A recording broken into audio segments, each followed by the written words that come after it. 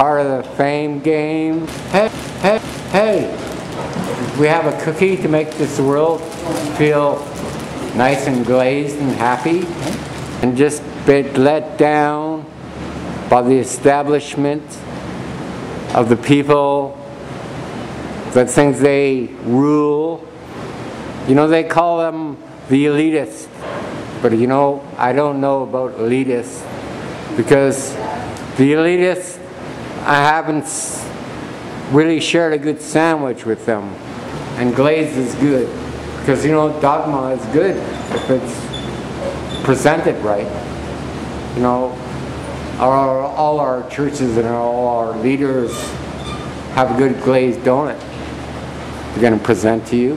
Oh, mmm, eat it up. It's good. It is damn good.